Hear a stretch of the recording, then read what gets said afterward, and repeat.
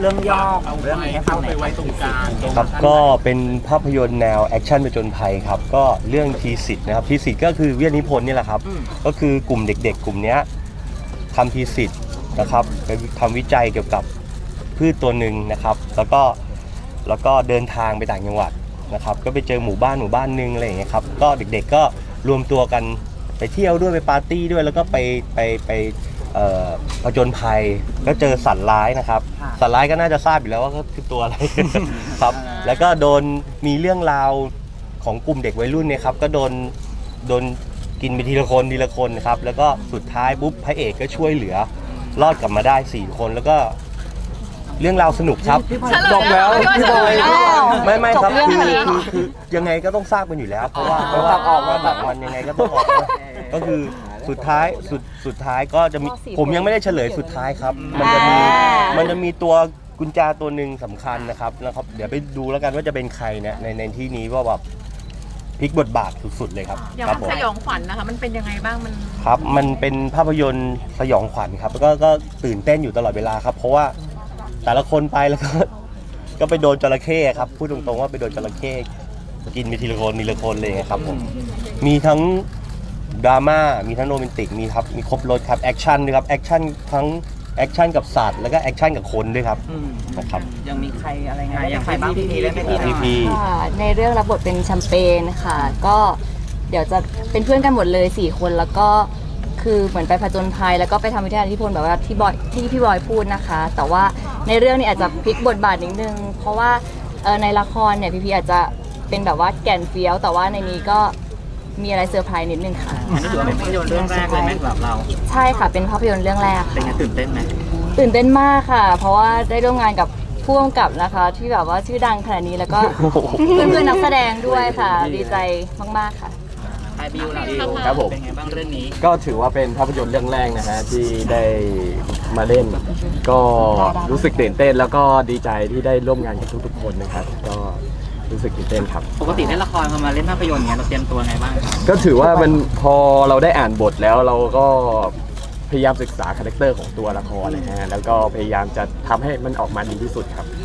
เพิ่งเจอเรื่องแรกด้วยเหรอคะ เรื่องแรกเรื่องแรกกับวีพีเรื่องแรก แต่แต่ยังดียังมีเพื่อนเรามาด้วย แล้วก็ยังมีพุ่มเรื่กัอบงบูเรื่องแอคชั่นอะไรอย่างงี้สบายเนาะสบายอยู่แล้วครับ ผ่านอาหลองมาแล้วครับได้อยู่แล้วครับ อะมาทางฝั่งนี้น้องน้องพพลลออยยอะน้องพลอยหลายเรื่องแล้ว ค่ะ อ๋อ น้องพลอยรับบทเป็นอะไรคะ รับบทเป็นน้ำหวานค่ะ เออ เป็นคาแรคเตอร์แบบเหมือนก็วัยรุ่นทั่วไปอะไรอย่างเงี้ยค่ะ แต่หนูรู้สึกว่าเรื่องนี้น่าจะมีอะไรแบบให้ทุกคนได้เซอร์ไพรส์กัน เดี๋ยวต้องรอติดตามชมค่ะ เออบอกเยอะไม่ได้เนอะเดี๋ยวสปอยบทเยอะไม่ได้จ้ารอชมกันดีกว่า เออค่ะ อะพี่โฟกโฟกัสครับผมได้เลยก็ในเรื่องรับบทเป็นนาวาครับผมก็จะเป็นนักศึกษาปี4ครับก็อย่างที่บอกคือเลือกไปทำวิทยานิพนธ์ในป่าครับผมก็จะได้ไปเจอเรื่องราวผจญภัยต่างๆครับผมซึ่งเรื่องนี้ก็ เรียกว่ามันเป็นการพลิกบทบาทอีกหนึ่งคาแรคเตอร์ เพราะว่าเราต้องมีแบบบู๊แอคชั่นอะไรที่เราไม่เคยทำมาก่อนครับผมเอาการเอาการรับบทเป็นสัตว์ร้ายครับเฮ้ยเดี๋ยวสรุปได้เป็นจระเข้เหรอพอดีว่าผมเปลี่ยนชื่อนิดนึงอะบุรินทร์อะผมชื่อบุรินทร์เออก็บุรินทร์เขาเป็นยังไงก็เป็นเป็นเด็กวิศวะครับก็ห้าวๆหน่อยอะไรอย่างเงี้ลิยนแล้วเขาก็ ดุปะคะฮะ ในเรื่องบุรินทร์เขาดุไหมคะดุไหมครับจริงๆเป็นคนเงียบๆเรียบร้อยครับ ก็เป็นเด็กวิศวะเนี่ยครับ แล้วก็ก็ไปทำ thesis ด้วยด้วยเหตุผลบางอย่างครับ แล้วก็ไปเจอเหตุการณ์ต่างๆ แล้วก็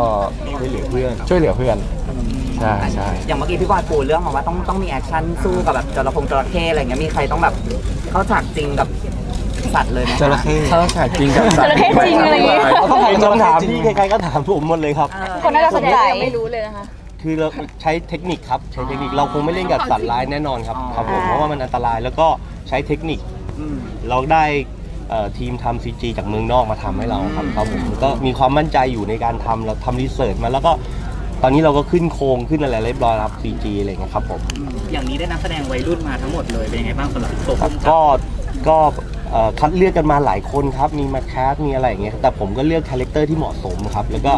ผมว่า ที่ผมเลือกมาแล้วก็ทีมงานทุกคนก็เลือกกันหลายเป็นเดือนนะครับทำ research กันมากับพวกเด็กๆ แล้วเราก็มองว่าเหมาะสมที่สุดแล้วในกลุ่มนี้ครับผม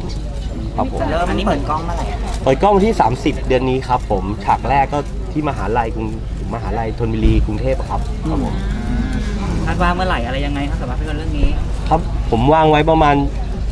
ปลายปีครับ แต่ถ้าไม่ทันยังไงก็อาจจะต้นปีหน้าอะไรเงี้ยครับผมอ๋อเพราะว่ามันอยู่ที่ขั้นตอนของ CG ด้วยครับแลบด้วยอะไรเงี้ยหลาย ๆ อย่างครับ อยู่ที่น้องๆจะให้คิวด้วยหรือเปล่าพูดไว้ก่อนพูดไว้ก่อนครับผมใช่ครับผมเอาฝากอะไรละกันเรื่องนี้อะฝากอะไรหน่อยเอาเลยค่ะเอาเลยค่ะมีโปรแกรมที่จะฝากเอาเลยค่ะพระเอกดีกว่าพระเอกเต็มที่เต็มที่ครับก็ครั้งแรกที่การได้อ่านบทเรื่องนี้ก็รู้สึกว่ามันอ่านง่ายเข้าใจง่ายแล้วก็สนุกมากก็คือแบบ รู้สึกว่าเราอยากเล่นอยากเป็นตัวละครตัวนี้เลย ก็ยังไงฝากด้วยนะครับ กับหนังเรื่องนี้ก็ครบรถครับทีสิทธิ์ครับยังไงฝากทุกคนด้วยครับ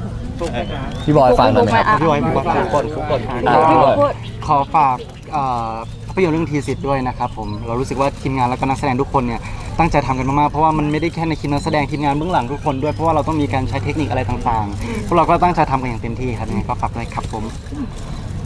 พี่พี่หน่อยละกันนิดนึง เอาเลยเอาเลยไม่ค่ะ ไม่ไม่มาถึงพี่ดีกว่าก็ทีสิทธ์นะคะ เรื่องนี้ก็ไม่รู้ว่าจะถูกใจคุณครูหรือเปล่านะคะยังไงก็ช่วยแบบว่า